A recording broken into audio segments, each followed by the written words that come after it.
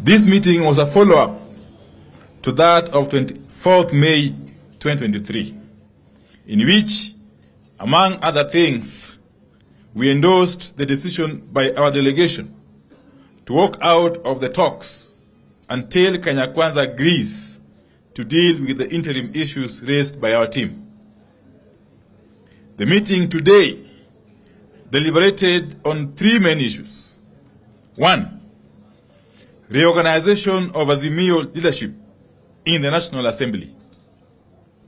Two, an in-depth analysis of the Finance Bill 2023. And three, the status of the joint bipartisan talks. This meeting took a position as follows. On the Finance Bill, our members have come to the conclusion that it has only bad news, worst news, and the worst news. We consider this to be a bill from people living either in another planet or another country other than Kenya. It is the position of the parliamentary group that the millions of Kenyans struggling with the high cost of unga, sugar, fuel, school fees, and electricity, among others, businesses struggling with shortage of supplies, high taxes, Kenyans struggling with high medical expenses, parents, civil servants struggling with diminishing pay, and increased tax deductions do not believe this bill is from a government working for them. They do not believe anyone living in this country can come up with the raft of taxes contained in the Finance Bill 2023. Our parliamentary group has also taken an extremely dim view of the arrogance with which the Kenya Kwanza administration wants to take billions out of the pockets of some of the poorest people in this country while expecting them to cheer. Kenya Kwanza position on the finance bill is take or leave it. We take the position that the budget proposals offer completely no support for working people and upcoming, and upcoming businesses. For the taxes being levied, people are getting nothing in return.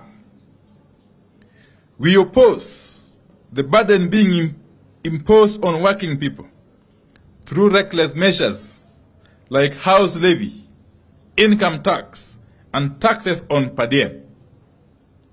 We oppose increased taxes on startups and small businesses.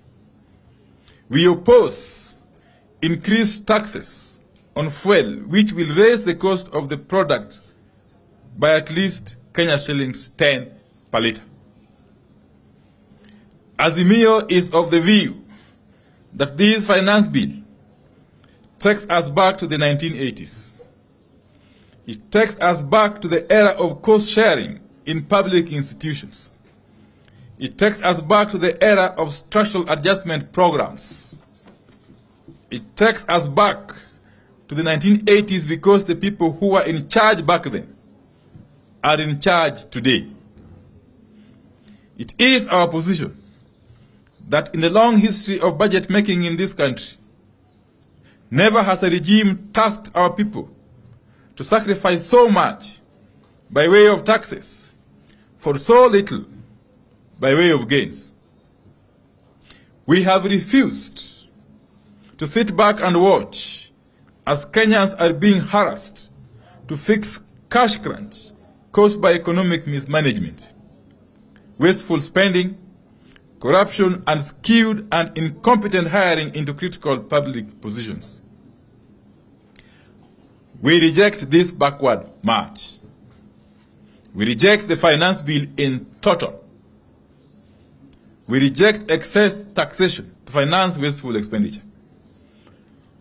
On reorganization of leadership, it is our hope that the media fraternity and Kenyans at large recall that at our last meeting, we recognized the resolutions of our affiliate party, Jubilee, reached at the party's special national delegates convention, including the change of leadership. We said those changes must be taken as final and must be respected and enforced by the office of the registrar of political parties.